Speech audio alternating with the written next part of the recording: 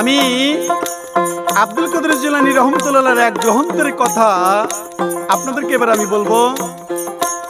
গুলিস্থায়ী কিরামেন নামক গ্রহন্তে পরিণত আছে।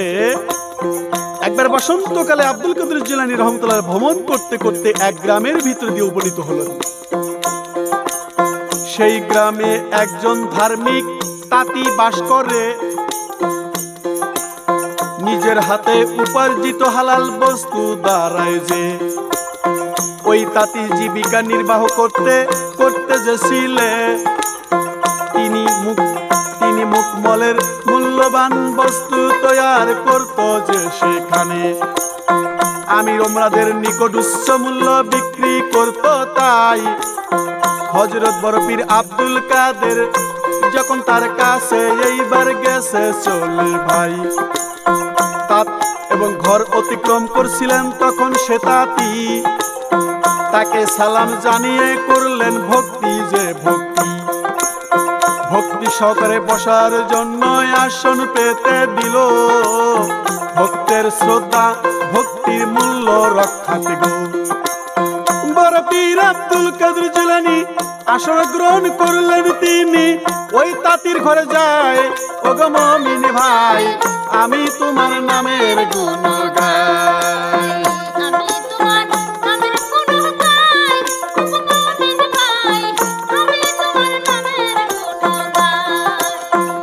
আমি তোমার নামের গুণ গাই ও গয়ালেক সাই আমি তোমার নামের গুণ গাই বড় পীর সাহেবকে নিজের ঘরে বসাতে পেরে তিনি খুব খুশি হলেন। খুশি হলেন সেই যে তাঁতি। কিন্তু ভাবনায় পড়লেন কিসের দ্বারা সম্মান করিবে? শেষ পর্যন্ত ওই তাঁতি বেটা কি করলেন তার নিজের হাতের তৈরি একখানা মুখমলের কাপড় তাকে দিল তাই। অতএব তিনি মুখমলের একখানা এনে বড় পীরের হাতে দেয়। জিলানি রহমতুল্লাহ সাবিমে পেশ করলেন। আপনাকে জানাই।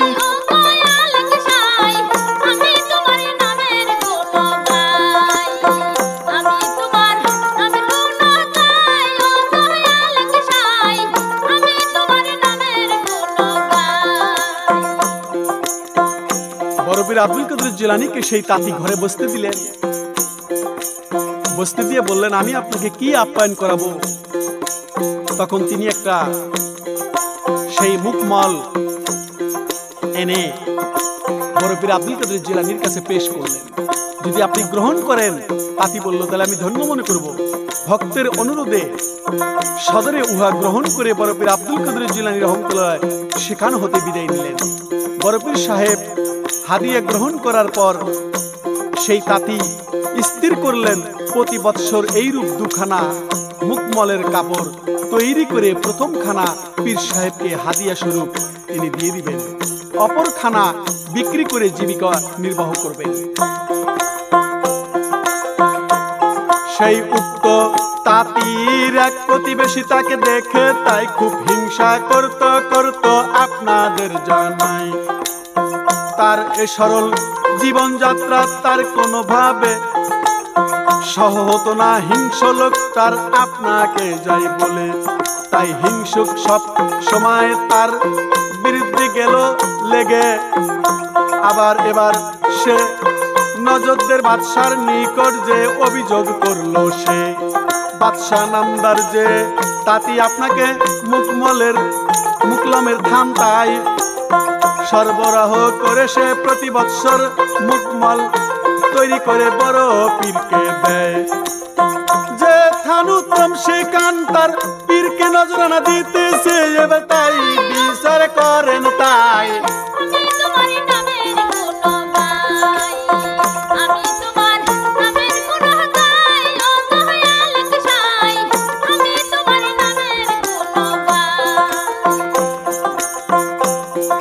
এই তাঁতির একজন শত্রু।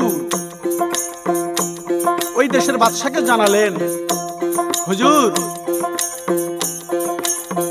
এই তাঁতি সেই মুখমল তৈরি করে, সে তার পীরকে নজরানা দেয় প্রতি বছর এটা আপনাকে জানাতে এসেছি, কিন্তু থান থান কাপড়টি সে আপনার এখান থেকে নেয়। আপনার নিকট জানাতে এসেছি এই কাহিনী করে হিংস, হিংসা ছিল ওই লোকটির খুব ওই তাঁতির উপরে। কথা শোনা মাত্রই অহংকারী বাদশাহ করতে দিশাহারা হয়। সাথে সাথে দুধ পাঠিয়ে ধার্মিক তাঁতিকে এইবার দরবারে পেলয়। খুব কঠিন স্বরে তাকে জিজ্ঞাসা করল যায় ওগো মমিন ভাই লয় তোমরা আল্লাহ নবীর নাই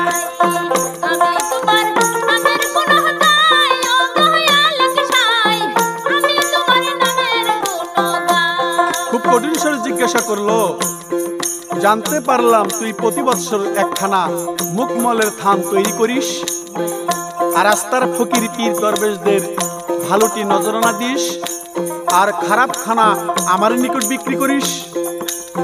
রাস্তার ফকির ও পীর, দরবেশদের এত মূল্যবান কাপড়ের প্রয়োজন তো ভবিষ্যৎ, এমন করলে উপযুক্ত শাস্তি ভোগ করতে হবে। তাতি এ কথা শুনে মনে খুব ব্যথা পেল। উপযুক্ত শাস্তি ভোগ করতে হবে তো যখন ব্যথা পেল, তাই সেই আচরণ কোনো প্রতিবাদ করতে তিনি আর পারলেন না। মনের ব্যথায়, মনে নিয়ে নীরবে সে বাড়ি আসলেন পরের দিন বাদশাহের কথা পীর সাহেবকে জানানো জানানো দরকার, তাই উপস্থিত হলেন পীর সাহেবের বড় পীরের দরবারে। ঘটনা বলে আরজ করলেন, হুজুর, এই জালেম বাদশাকে উপযুক্ত শাস্তি না দিলে অনেক নির্দোষ লোক তার নিকট লাঞ্ছিত হবে। পীর আব্দুল কাদের জিলানির জিলানি। শিষ্যের মুখে এই ঘটনা শুনে তখনই মনে ব্যথা পেল। প্রকাশ প্রকাশ করল না। তাকে বললেন, বাবা, আমরা পীর ফকির, গরিব লোক। আমি রোমরা আমাদেরকে এ ধরনের কথা বলতে তাতে কি আরে তাদেরকে কোনো কিছু কইও না। আমাদের কোনো যায় আসে না, তোমাদের জানাই।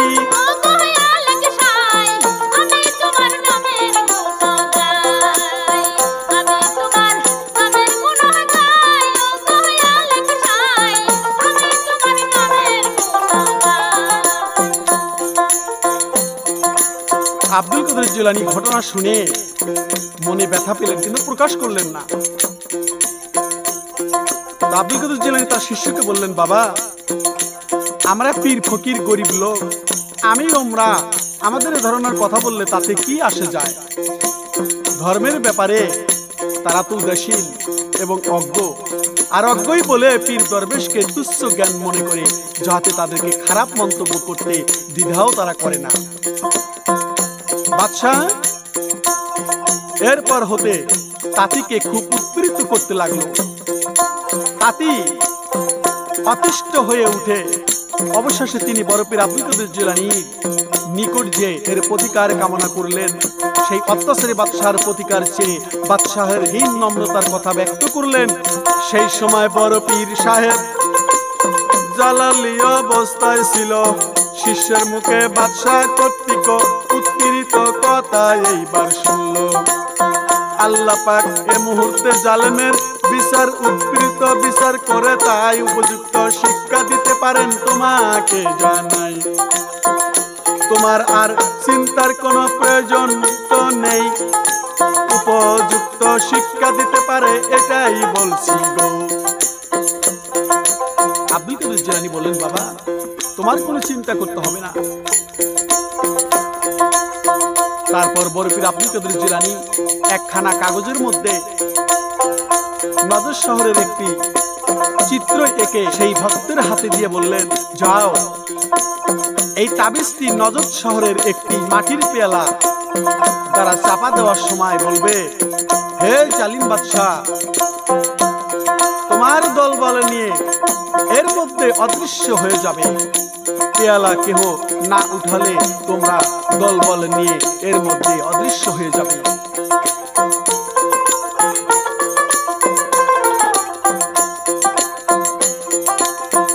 পীরের দেওয়া।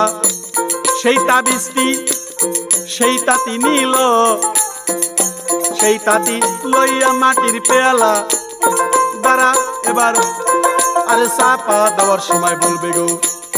মাটির পেয়ালা দ্বারা চাপা দিয়ে বলবে, হে জালিম, তুমি তোমার দল নিয়ে এর মধ্যে অদৃশ্য হয়ে যাবে জানি। পেয়ালা কেহ পেয়ালা কেহ না উঠালে তারা উহাতে মুক্তি পাবে না।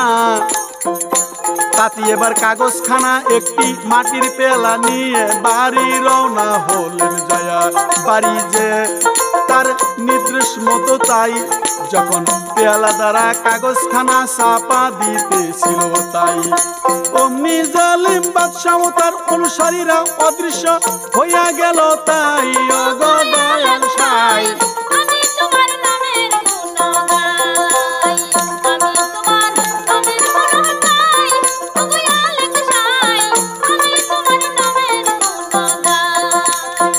যেই মাত্র মাটির পেয়ালা দ্বারা চাপা দিলেন, অমনি জালেম বাদশাহ ও তার অনুসারীরা অদৃশ্য হয়ে গেল।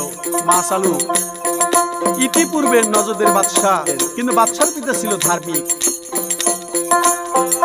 শেষে তিনি শহরে প্রবেশ করে দেখেন যে প্রধান প্রিয় পুত্র সৈন্য সমস্ত সৈন্য সমস্ত অন্যান্যদের কাউকে দেখতে আর যায় না, দেখা যায় না। তাদের কোনো সন্ধান না পেয়ে অতিশয় চিন্তিত হয়ে পড়লেন পুত্র শোকে পাগলের মতো হয়ে মাঠে ঘোরাফেরা করতেছে।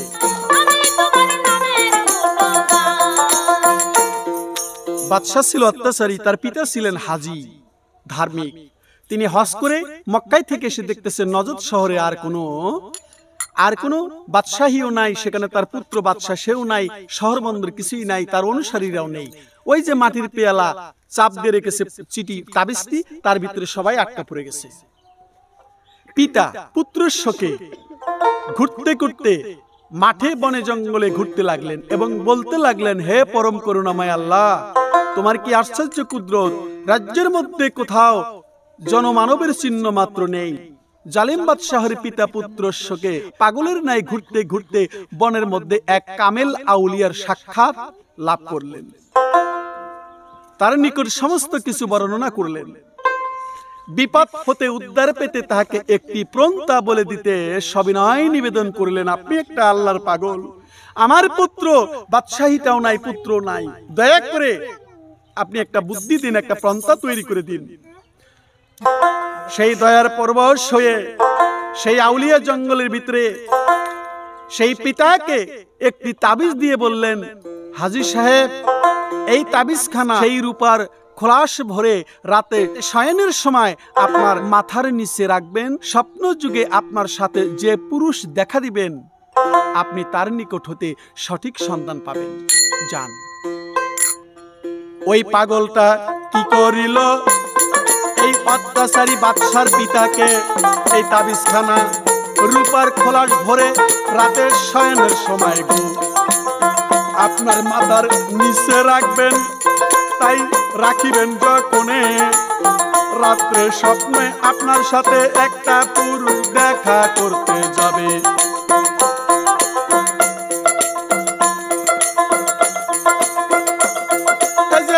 আপনি আপনি তার নিকট হতে সঠিক সন্ধান পাবেন তাই গো আলেক সাই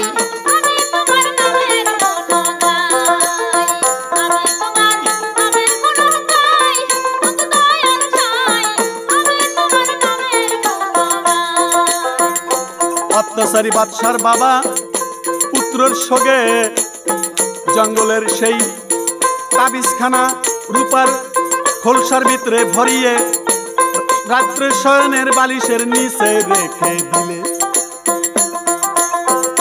আউলিয়ার নির্দেশ মতো সব কাগজ সমাধা করে রাতে শুয়ে পড়লেন তাই নিদ্রিত অবস্থায় স্বপ্নে দেখতে পেলেন ভাই। চার সহস্র সহ হজরত মোহাম্মদ সাল্লাল্লাহু সাল্লাম তার নিকট উপস্থিত। আমি বলতেছি সবাই, তিনি তাদের নিকট তার দুঃখের কাহিনী বর্ণনা করিল। তার দুঃখের কাহিনী শুনে আমার দয়াল নবী হাজি সাহেবের পুত্র এবং তার সঙ্গী সাথীদের পরিত্রাণের জন্য দয়াময় আ- পাকের নিকট দয়া চাইলেন তাই। এই গায়ে এই যে গায়েব হতে তখন আওয়াজ হলো, হে আমার প্রিয় হাবিব যে লোক আমার প্রিয় বান্দা, আব্দুল কাদের জেলানির সাথে শত্রুতা করতে চাই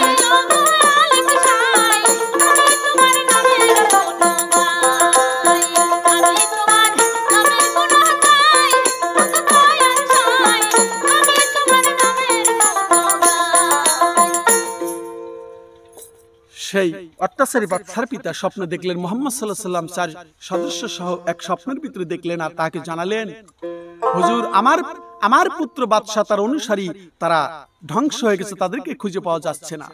হে আমার প্রাণ প্রিয় হাবিব, তখন তিনি বললেন, আল্লাহ রাসুল বললেন যে, আব্দুল কাদের জেলানির সঙ্গে শত্রুতা রাখে এবং লোকদের উপর অত্যাচার করে, তার শাস্তি এমন হওয়াই উচিত। আমার রাসুল সাল্লাহ সাল্লাম স্বপ্নের ভিতরে সেই অত্যাচারী বাদশার পিতাকে জানিয়ে দিলেন। এখন আব্দুল কাদের জিলানি তাকে ক্ষমা করে দিলে সে নিস্তার পাবে, অন্যথায় তার কোনো মুক্তি নেই। হজরত রাসুল্লাহ সাল্লাহ সাল্লাম সমস্ত খবর অবগত হয়ে হজরত আব্দুল কাদের জিলানির নিকট হতে নজদের বাদশাহের অপরাধ ক্ষমা করিয়ে দিলেন। আমার নবী মোহাম্মদ আব্দুল কাদের জিলানিকে বললেন, তুমি তাহাকে ক্ষমা করে দাও। তখন ক্ষমা করে দিলেন। সকালবেলা ক্ষমা যখন করে দিলেন বাদশাহ নজর বাদশার অপরাধ ক্ষমা করিয়ে নিল তাই। সকালবেলা আব্দুল কাদের তার শিষ্য তাঁতিকে ডেকে বললেন, বাবা, তাই আর বিলম্ব না করে তুমি এখানে এসো, মাটির পেলাটি উঠিয়ে ফেলো তাই। বন্দিগণ মুক্তি লাভ করুক তোমাকে জানায় বাদশাহ আর কোনোদিন কারও অন্যায় করবে না করবে না। পীর সাহেবের আদেশ মাত্র তাই গেছেন করিয়া। ওই পেলাটি উঠালেন, অমনি নজদের বাদশাহ তার সঙ্গী সাথী লইয়া। যে অন্যান্য সকলের মুক্তি পেয়ে গেল আপনাদের যাই কইয়া হাজি সাহেবের সকল, সকলকে ফিরে পেয়ে মহান আল্লাহর শুকুর আদায়ে। পরের দিন পিতা পুত্র বাগাদে এসে বড় পীরের কাছে। নিকটে এসে তার পায়ের লুটিয়ে পড়ল তাই, এবং তার নিকট মুরিদ হওয়ার আবেদন জানাইলেন তাই। বড় পীরে মুরিদ করল, আরে মুরিদ করে নিলেন এইবার।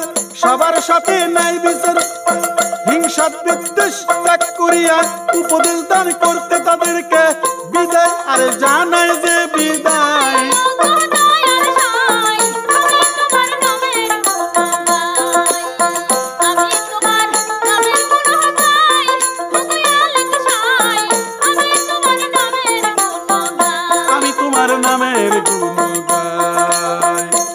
বাগদাদ শহরের কলেরা ধ্বংসর কাহিনী। বড় পীরের উসিল্লায় মুক্তি হয়েছে বলব পরে আমি।